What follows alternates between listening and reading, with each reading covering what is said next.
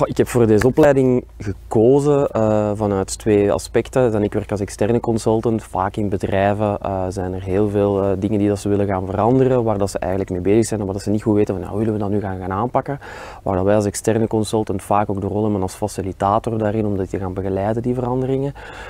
waar dat ik heel veel vanuit buikgevoel al wil hebben, maar waar dat we toch wel iets meer kracht nodig hadden. Vandaar dat ik deze opleiding volgde, omdat we dan iets meer body gingen geven. En ook het interne verhaal binnen onze eigen organisatie, denk ik dat we daar zeker, um, zeker heel veel kunnen van bijleren. Met hoe gaat je nu net om met verandering? Wat betekent dat voor mensen? Hoe doe je dat op een gedragen manier? En hoe zorg je dat die verandering ook effectief blijft staan in een organisatie? Een van de grote sterktes van, uh, van alle opleiders is dat ze niet enkel de expertise hebben, maar dat ze ook nog eens zeer uh, makkelijk met de, de, de contexten van de verschillende bedrijven hier aanwezig snel kunnen gaan inspelen en dat abstraheren naar oké, dat speelt er in die organisatie, maar besef ook dat in alle andere organisaties, dat daar waarschijnlijk ook iets gaat gaan spelen. Dus de manier van hun flexibiliteit van de kennis toepassen en het meedenken in andere contexten, dat is natuurlijk ook een hele scherpe.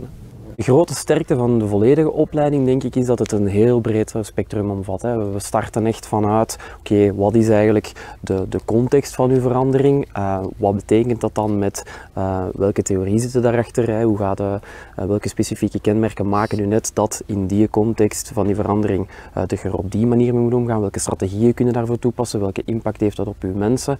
En dat expertise van de mensen dat in die opleiding, dat deze opleiding geven, hè? Een, een Jelger, een Lijken, een toon, dat die toch wel zeer, zeer breed gaan en zeer sterk in hun vak zijn. Hè. Ik denk het belangrijkste dat je van heel deze opleiding meeneemt en waar ik maandag ook wel concreet mee aan de slag ga, is het feit dat ik er concreet mee aan de slag kan gaan. Dus het feit dat we het volledige traject doorlopen hebben door de volledige opleiding en dat we ook merken van ja, je ziet hier een rode draad daarin, van hoe starten vanuit een context, wat betekent dat van welke profielen en welk profiel van verandering gaat het nu om, hoe, welke tactieken kunnen daarvoor toepassen, hoe gaat je daar dan zelf mee om, hoe zorg je dat je eigen positie, je leiderschapspositie daarin kan gebruikt worden? En heel dat traject daardoor om dan dat toch niet ineens te u laten versmachten van hoe dat is hier zeer groot.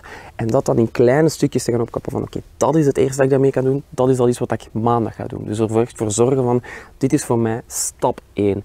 Wetende dat de groot grotere geheel zijn, alles wat we in de afgelopen vijf dagen geleerd hebben, dat dat, uh, dat, dat daar, enfin, dat, dat in het, de bigger picture past.